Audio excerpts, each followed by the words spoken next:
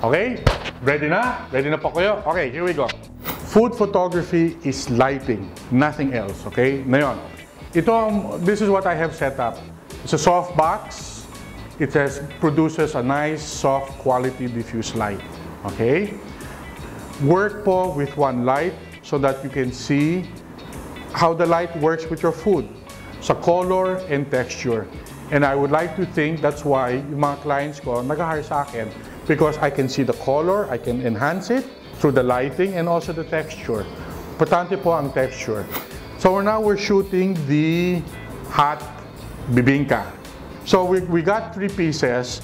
I will choose the best one, the color and the texture, as I mentioned. So I will choose this one po. I will still use this. We can use this as a background.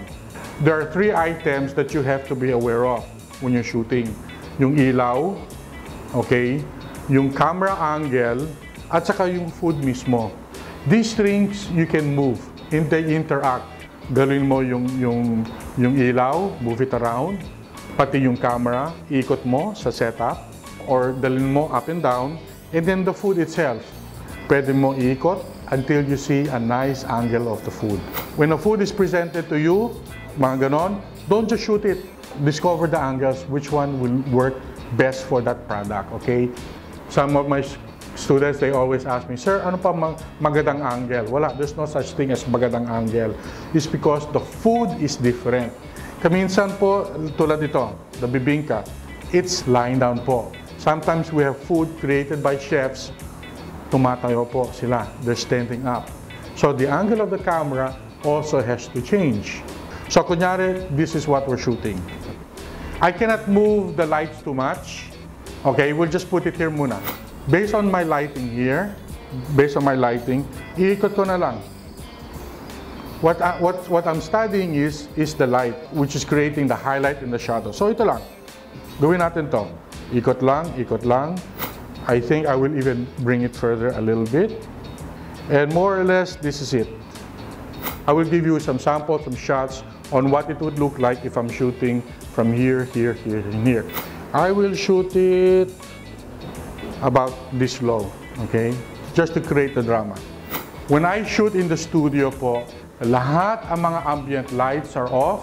I don't want those lights to interfere when I'm shooting my food products. I need to see yung mga highlights at saka po yung mga shadows.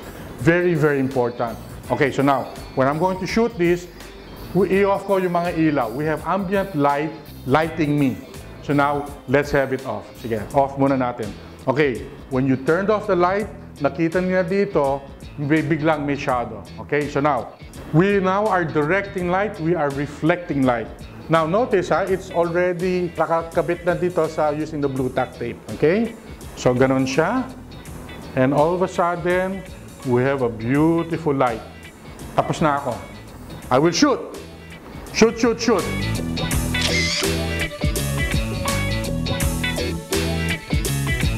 So now, what does this do? It blocks off light. Let's say that the setup, masyadong maliwanag, except for the product, which is beautifully exposed, beautifully lit. Pero yung mga, let's say, kunyari ito, we want to reduce the light hitting this. So, we will bring the feather. So, we're going here po. This is a big setup. Kulang po ito. Kulang yung feather. So, I will just get my other board, but instead of reflecting light, I'll be blocking light. And this is how I will do it. So now, I am just blocking off light without interfering po dito. The blocking of light here, okay, from, from my main source, but hopefully, I will not hit, I will not create a put a shadow on here, okay? So, we're ready to shoot, ready, ready. Ready, ready, ready. This po creates drama.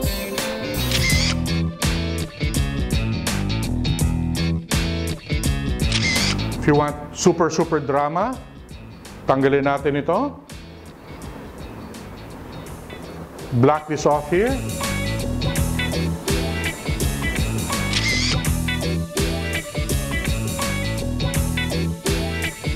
Of course, there are other ways of really refining it. You have to refine the light in order, of course, to make it come out more. What would it look like if I just move the table? Ikot natin yung table. Dito naman ang ilaw, it will be coming from the right side. I will put the camera on this side, okay? So now, I'm just turning it around. Now I will move my camera accordingly to where to where uh, how I shot it. And it has a different look po. It has a different look, a different feeling. So again, same thing. If you want a reflector, dito po may shadow dito based on the light and all. If I put just a little bit of my reflector here, it's opening up the shadows. You don't want it po too much like this. Okay? It's too close and it's flat. What is flat? Walang highlight, walang shadow. I prefer a little bit drama. So what we do, atras natin to po. Oh, it's getting sexy, sexy, sexy, sexy, sexy, sexy. Shoot.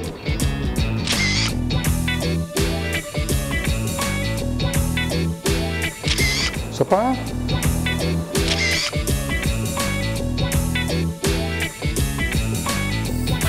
That's it. You have to know your lights. Shoot more. To shoot more, you will discover a lot more and then learn from your mistakes. Think differently po.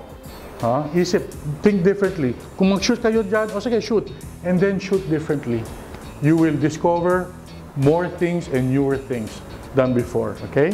Thank you po. Thanks for your time and enjoy.